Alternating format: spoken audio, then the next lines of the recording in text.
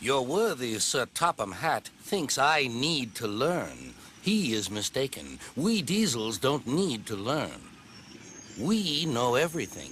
We come to a yard and improve it. We are revolutionary. You are as pathetic as the rest.